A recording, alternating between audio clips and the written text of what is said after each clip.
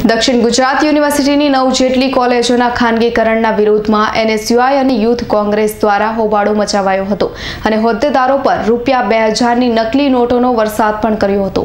એકસો વર્ષ જૂની ગ્રાન્ટેડ કોલેજોનું ખાનગીકરણ બાબતે એનએસયુઆઈ અને યુથ કોંગ્રેસે સાર્વજનિક એજ્યુકેશન સોસાયટીના હોદ્દેદારો પર મનોરંજનની રૂપિયા બે હજારની નોટનો વરસાદ કર્યો હતો. એટલું જ નહીં, સાર્વજનિક એજ્યુકેશન સોસાયટી શિક્ષણનું વ્યાપારીકરણ કરતા હોવાનો પણ આક્ષેપ કર્યો હતો. શહેરની જાણીતી છ ગ્રાન્ટેડ કોલેજોના જોડાણ વીએનએસજીએ રદ કર્યા હોવા સાથે જ પહેલા વર્ષમાં પ્રવેશ નહીં આપવા પાછળ. એનએસયુઆઈ અને યુથ કોંગ્રેસે સાર્વજનિક એજ્યુકેશન સોસાયટીના હોદ્દેદારોએ દોઢ કર્યું હોવાનો આક્ષેપ કર્યો છે. તુમા નગરસેવકોએ તે સંસ્થાને અતિ કિંમતી જગ્યાઓ દાન કરી અને લાખો રૂપિયા દાન આપી કોલેજો, શાળાઓ બનાવી તેઓનું બંધારણ બનાવ્યું હતું. સારું શિક્ષણ, સસ્તું શિક્ષણ એ હજારો વિદ્યાર્થીઓ તેમાં શિક્ષા લેશે એવા મહાન વિચાર સાથે સંસ્થાની શરૂઆત કરાઈ હતી.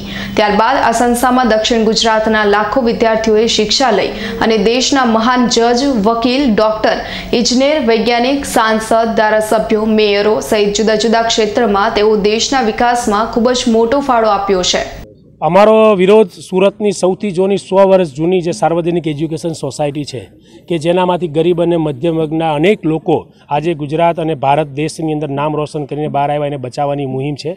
એનએસયુઆઈ યુથ કોંગ્રેસ અને આ સાર્વજનિક સોસાયટીના તમામ ભૂતપૂર્વ વિદ્યાર્થી સાથે મળી અને આજે સાર્વજનિકની અંદર અમે આવેદનપત્ર આપવા આવ્યા છે. છેલ્લા ઘણા દિવસોથી અમારી યુનિવર્સિટી સરકાર સામે લડાઈ ચાલે છે, પરંતુ સાર્વજનિક સોસાયટીની અંદર પણ આવેદનપત્ર આપીને અમે જાણવા જણાવવા માંગ- માંગીએ છીએ.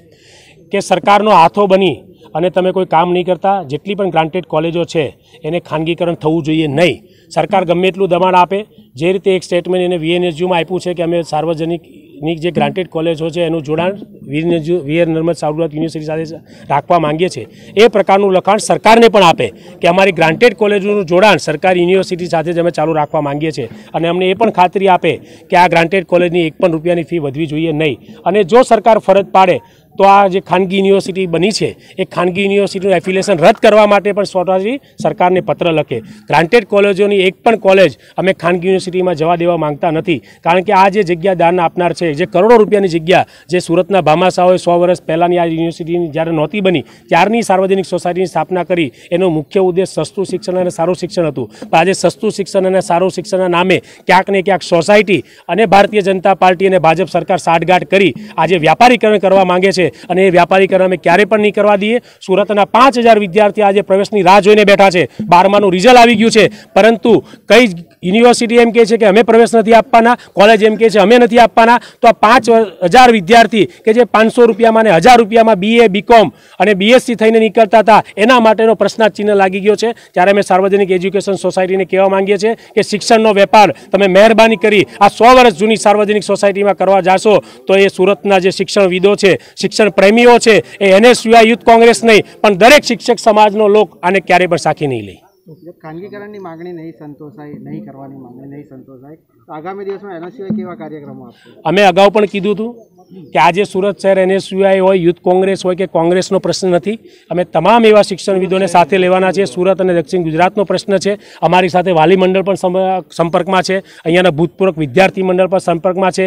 સાથે સાથે કર્મચારીઓનો પણ પ્રશ્ન છે. અહીંયાના પ્રાધ્યાપકોને પગાર પેન્શન એ બધા પણ પ્રશ્ન છે.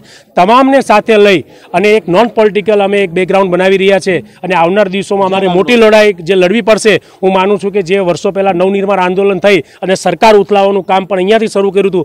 જો આ લોકોને ખાનગી યુનિવર્સિટીમાં જશે ને માનશે નહીં, તો હું માનું છું કે આ રૂપાણી સરકારને ભલે વર્ષની બાકી હોય. એનએસયુઆઈની માંગણી છે કે સાર્વજનિક એજ્યુકેશન સોસાયટીની ગ્રાન્ટેડ કોલેજોનું જોડાણ સરકારી યુનિવર્સિટી વી નર્મદ દક્ષિણ ગુજરાત યુનિવર્સિટી સાથે જ ચાલુ રાખી.